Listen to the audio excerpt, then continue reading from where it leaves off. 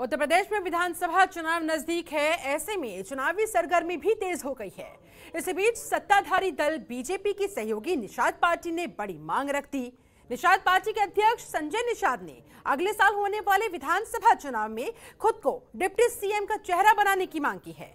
उन्होंने कहा कि चुनाव में अगर बीजेपी उन्हें डिप्टी सीएम का चेहरा बनाती है तो इससे फ़ायदा मिलेगा और हमारी सरकार भी बनेगी। संजय निषाद ने दावा किया कि उत्तर प्रदेश में निषाद समुदाय 160 सीटों पर मज़बूत है। राज्य में निषाद समुदाय की 18 फ़ीसदी वोट है। जनतंत्र टीवी संवाददाता रामानुज से संजय निषाद ने की खास बातचीत। जरा देखिए। पूरे प्रदेश के अंदर एक खबर चली और उसने कहीं ना कहीं सख्ते में डाल दिया। बीजेपी से मांग रख दी गई है कि डिप्टी सीएम बनाया जाए तो कहीं ना कहीं जाके बीजेपी उत्तर प्रदेश के अंदर फिर से सत्ता में आ सकती है।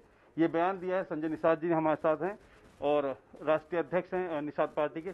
सर, आखिर एक डिमांड दे दी आपने कि भाई हम अगर डिप्टी सीएम बनाया जाए, तब जाके सरकार जो है आ पाएगी। नहीं, हमने नहीं, मेरे समाज के लोगों ने एक संदेश, सलाह दिया है भारतीय जनता पार्टी को कि झुआ भर वोट है निषाद समाज का उस पर पौआ का लेवी लगा था, अब निषाद पार्टी का लेवी लग गया है। तो अगर जिसकी संख्या पौआ वोट के लोग पावर में आए और काला कानून बनाकर निषादों का ताल घाट नदी छीन लिया 2007 में बसपा में।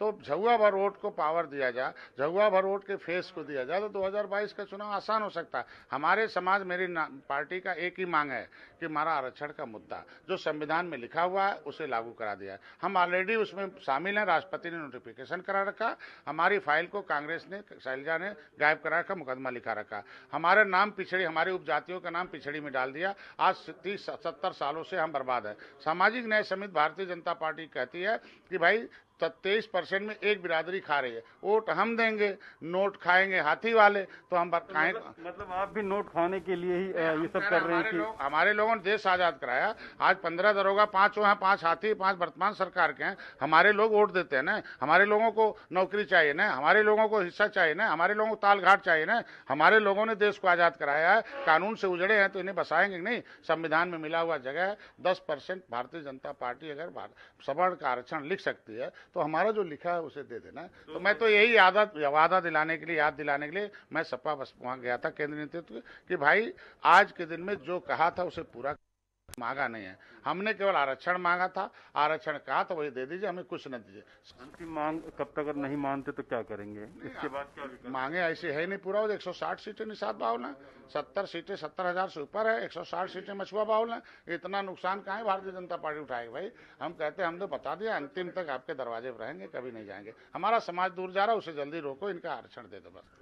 तो संजय निषाद जी ने साफ़ तौर पर बोला कि आरक्षण की लड़ाई लड़ रहे हैं न कि किसी पद और किसी और ताकत के लिए।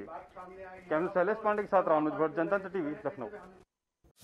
खबरों के निष्पक्ष विश्लेषण के लिए सब्सक्राइब करें Jantantra TV and press the bell icon. Never miss any update